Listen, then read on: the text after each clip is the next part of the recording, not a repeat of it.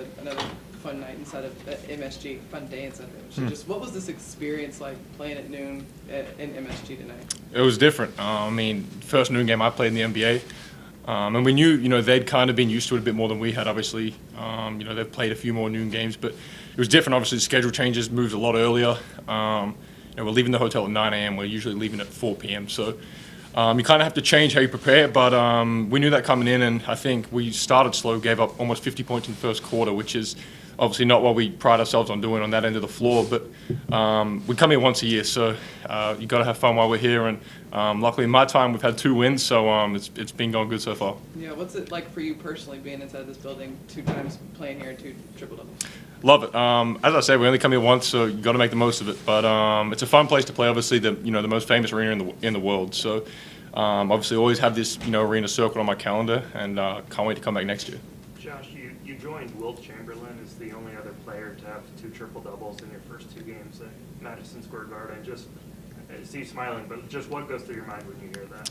Yeah, I mean, obviously, anytime your name's within a company like that, uh, you know, one of the all-time greats is special. But um, you know, basketball's a team game, so if, if those things contribute to winning and um, you know helping my guys around me be better, then um, you know it makes it worth it. So, um, but yeah, anytime you can be mentioned within you know the names of greats like that, um, it's special. How encouraging has it just been to see, like, everybody who's gotten themselves going has done it within team concept? It- It's not, doesn't seem like a lot of, you know, pounding the rock isolation ball. Yeah, uh, yeah, that's the best thing about our team. I think um, we've got such an unselfish, you know, willing group that's uh, that buys into what we're doing as a team, and and um, you know, no one goes off on their own ventures um, trying to do it themselves. We have. You know, five guys on the floor, um, guys on the bench are active, talking. Um, coaching staff is engaged, so um, it kind of runs through the whole, you know, the whole group. Um, and that's the best thing about our team. We always pride ourselves and, and kind of, you know, preach getting it done with five guys. And um, the more we can do that, um, get everyone involved, get everyone feeling good, um, hopefully the more, you know, wins it could lead to. Josh, in addition to the triple double, you also had a season high in scoring. Uh, what do you think you saw out there that made it score the ball so easily? Um, I mean, just getting downhill. I mean, floaters haven't been dropping for me this year, so just trying to get into the paint. Um, you know, stay confident with my shot.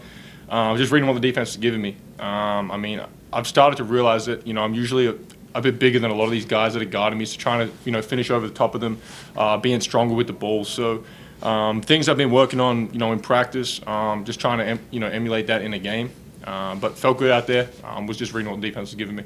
Shai had a 21-point third quarter. As an initiator yourself, do you feel the need to feed him the ball when you win a Oh, like that? absolutely. Um, I'm happy to, you know, when he's having quarters like that, I'm happy to sit back um, and just watch it like everyone else. So it's obviously special when he's playing like that. And then you see in the fourth quarter there, you know, blitzing him and running two to him, and he's so unselfish, gets off the ball, um, and other guys that are making plays. So um, yeah, it, it's it's special. You know, you guys enjoy it just as much as I do. So um, it's really fun to watch and, and fun to be a part of.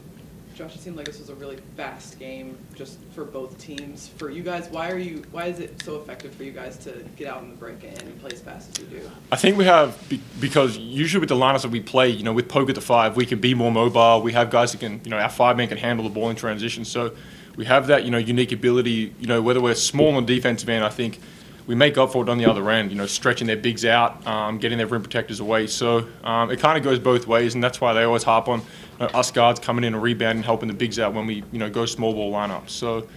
Um, yeah, when we're good on locked in on the defensive end, it leads to easy buckets in transition, and that's when we're at our best. And defensively, what was key in slowing them down after kind of a hot start that they had to come out of the game? Yeah, um, I think fouling in the first quarter, uh, transition buckets were the two main, you know, points. Um, I think second quarter really kind of where we put our stamp on the game, and I think that's what you know got us back in it. Um, you know, 48 points is it's very hard. If you're giving that up in the corner, it's very hard to win a game. So, you know, credit to the guys, we responded, but um, yeah, just little discipline stuff that we went over in the scout. Um, that first quarter wasn't good, but after that, I think we cleaned it up. Josh, Josh, you, go ahead. You finished up with 145 points. Is this an indication at all of how good this offense can be?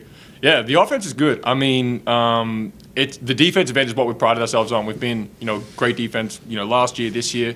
Um, so when we're good on that end, it translates. But um, offensively, I think, you know, when we're clicking, uh, we're a tough team to stop. As I said um, to Paris, we've got a lot of guys that can make plays on the floor. So you know, when the teams are running to it, Shai, uh, whether he hits, you know, me, Lu, Wiggs, Tre, Dub, you know, the list goes on. Um, there's so many guys that can make plays for, for themselves, for others. So luxury to have, and um, the more we can keep using those weapons, um, you know, the more points we're going to put on the board.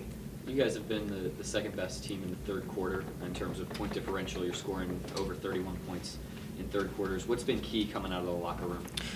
Uh, I think we respond well. You know, coach usually comes in, tells us one or two things that we're not executing on the scout, um, and we clean that up straight away. And um, a lot of times, teams kind of coast through the first few minutes of the third. You know, you've had a 20 minute, 15 minute break out of halftime, getting your legs back, but we kind of hit the gas straight away. Um, it's what you know allowed us to stretch margins or you know close deficits. So um, third quarter has been good, and uh, I think we can continue that. It, it, helps us you know go into the fourth and finishing off games.